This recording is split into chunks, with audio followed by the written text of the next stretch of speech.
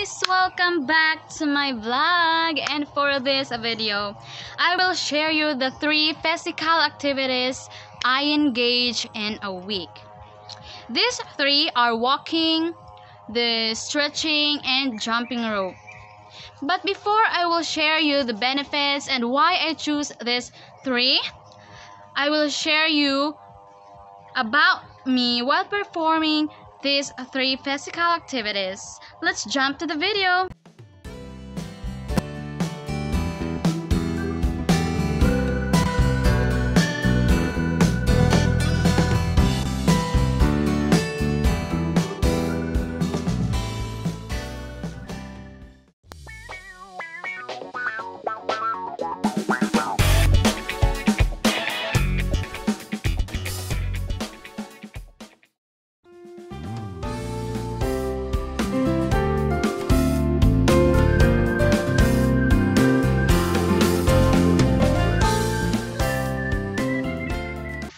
Move on to why I choose these three physical activities instead of other physical activities. First, these three are very affordable. You don't need any equipment to do this. Secondly, these three have many benefits to our health. First, let's tackle about the benefits of jumping rope. Jumping rope actually improves your coordination by making you focus on your feet.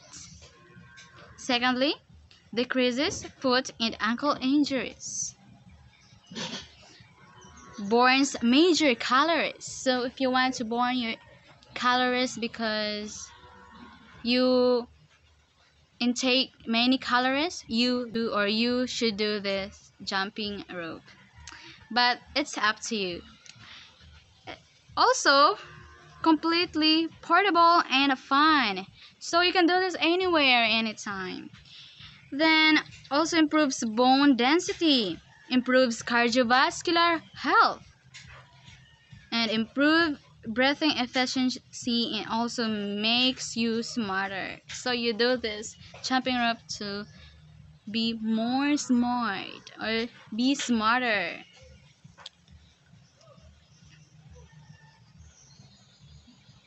Next, let's go on the benefits of stretching. Stretching can improve posture. So this is a big help to those have tight muscles because tight muscles can cause poor posture. So by stretching the posture of your back or your posture can improve because of this exercise. Next is stretching can improve range of motion and prevents loss of range of motion. Because as we age, our joints lose all range of motion. Then stretching also can decrease back pain. And stretching can help prevent injury. And stretching can decrease also muscle soreness. Okay. And lastly, the benefits of walking. So, walking is very easy to do. This is the easiest easiest exercise for me. This is the easiest exercise. You can do this anytime and anywhere you want to walk. Okay, the benefits of this exercise or physical activity First, increase cardiovascular and pulmonary, the heart and lung fitness. This is good to your heart and lungs and reduce reduce risk of heart disease and stroke. Improve management of conditions such as hypertension or high blood pressure. So, this is very good exercise for you if you have hypertension or high blood pressure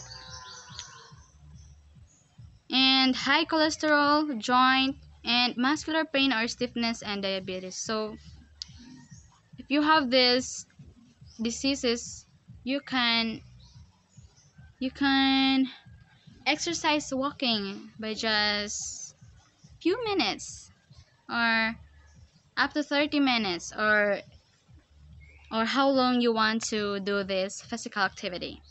Also, walking can